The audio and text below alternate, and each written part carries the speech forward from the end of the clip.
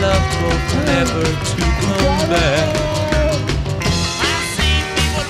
So here we're playing a little game of Rochambeau to see in terms of who takes the first leap of faith off this little monster from up there. You ready? Yeah. Let's go. Okay. Off After three, yeah? Yeah. One, two, three. Oh, fuck. Do that one again. So it's one, two, After three. and then Yeah. Oh, okay. Okay. One, two, three. Uh-oh. When your whole world is black. No more will my green seagull turn a deeper blue. I could not foresee this thing happening to you.